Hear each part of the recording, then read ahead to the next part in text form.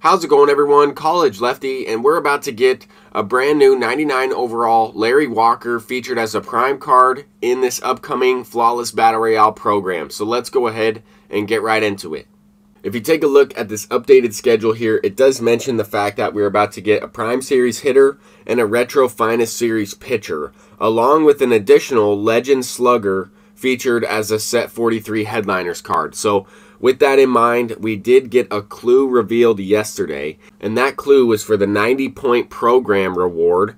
And then we also got this clue revealed this morning, which is Battle Royale 7 Flawless listed down there at the bottom. This is, in fact, going to be Prime Series Larry Walker, and hopefully, this card is better than what we saw in last year's game. Last year, he had, what was it, a Silver Slugger, this MVP this MVP version with 99 contact and 80 power against lefties. Not really the greatest Larry Walker card. He was really good against righties, clearly maxed out with great vision. You could parallel him up a little bit. But this was the signature series Larry Walker that we had in MLB The Show 20.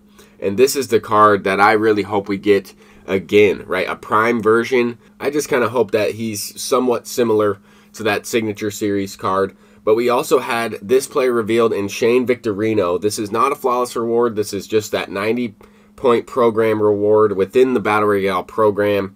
Uh, 99 overall retro finest Shane Victorino from the Phillies. And I thought that this might be a future star, right? Depending on the clue. I know someone commented on the YouTube video mentioning the fact that it does look like Shane Victorino.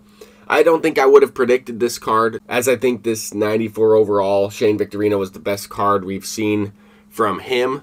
Uh, but hopefully that 99 has much better contact, has juice power as well. It is a Retro Series finest card, so maybe he will be a lot better than what I'm expecting. But I, I just don't know. Hopefully the pitcher in itself in this program is pretty good. Retro Finest Series pitcher could be a reliever. We just got a couple pretty decent relievers, though. I don't know. I don't know. I don't expect it to be Vida Blue. Vida Blue was that milestone card that they kind of leaked. He could be something different, but you just never know. That's going to do it for this video. I'm College Lefty. Until next time, peace out.